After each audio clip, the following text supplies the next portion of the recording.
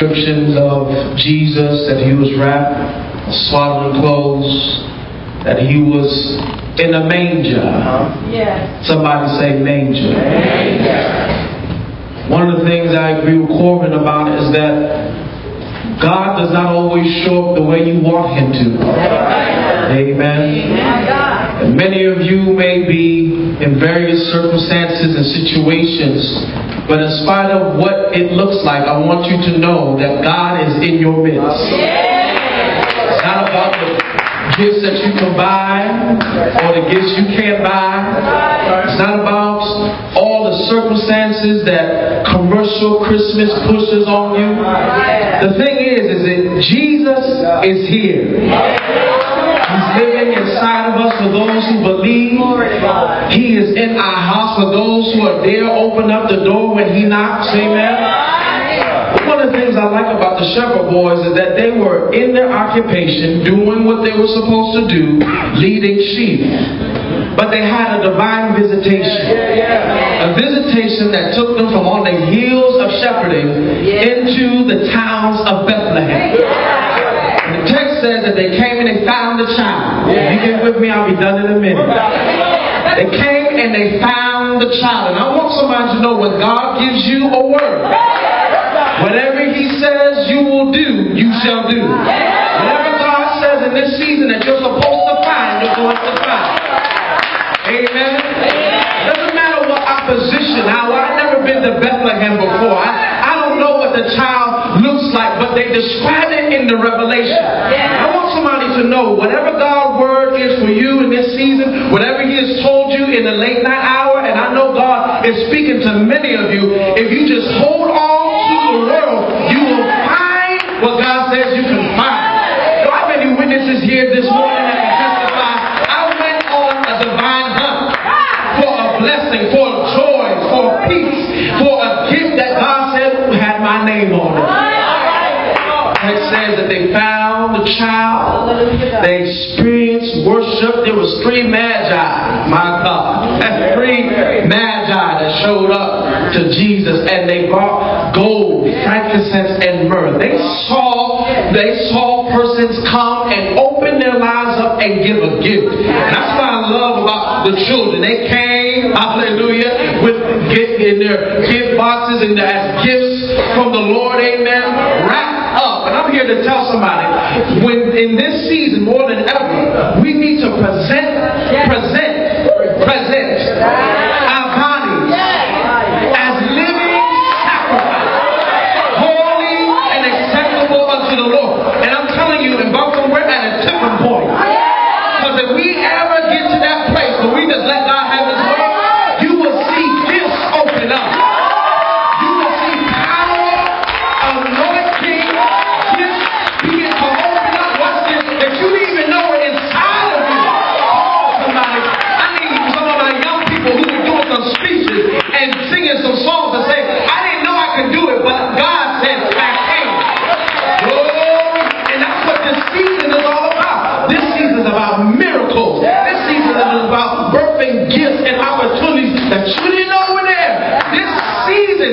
is just about going to Walmart and Target and trying to get the best thing on sale and trying to figure out how to wrap it. The reality is this is about the impossible happening. This is about miracles taking place. I pray in the name of Jesus that you won't just look for gifts under the tree, but you will look for miracles, right? With your name on it. So we have had a wonderful encounter in here. Just as the shepherd boys, we have seen children come and worship. We have seen the truth, the angels dance. Hallelujah. We have heard the whispers and the and the words from our babes in Christ. Hallelujah. We have heard Mary speak. One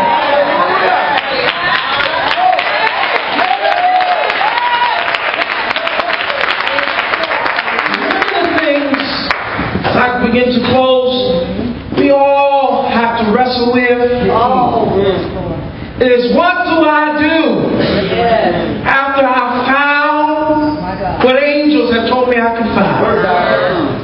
What, what happens now that I've had an encounter yeah. in worship with Jesus? Some persons struggle with church and ministry and counting God. Why? Because like the shepherd boys, you gotta go back to the hill what you used to do.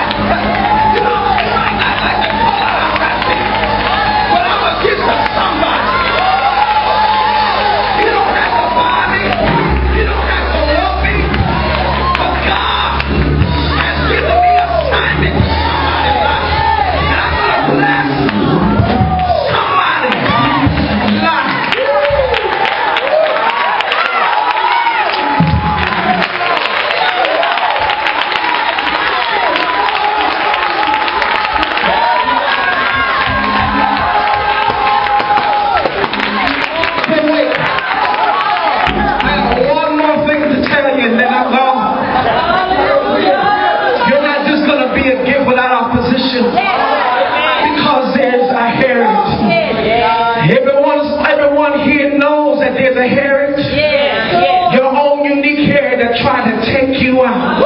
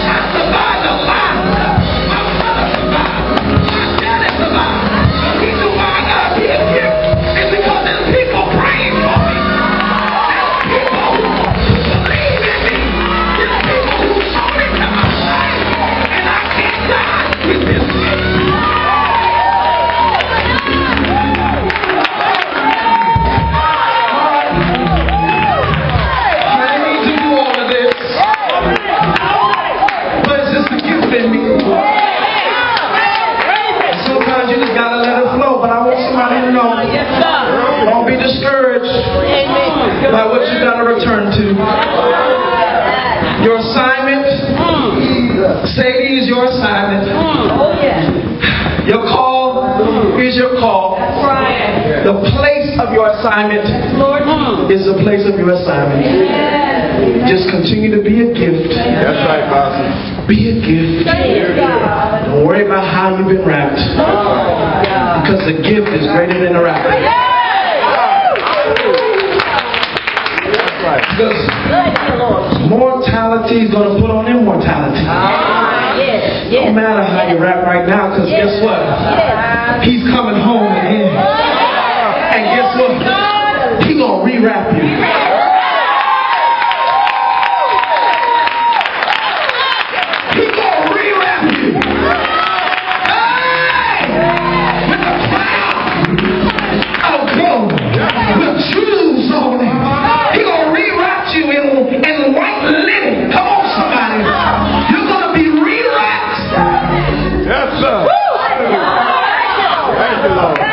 there might be somebody here.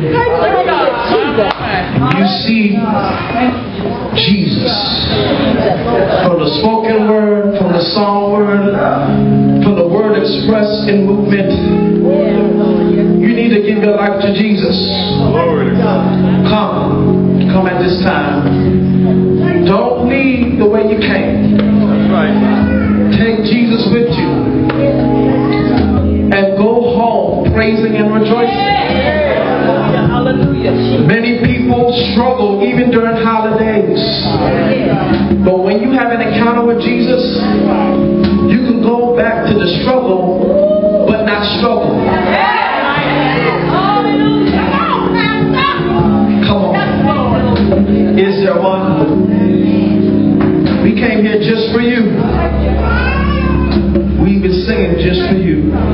yes to Jesus this morning? Is there one?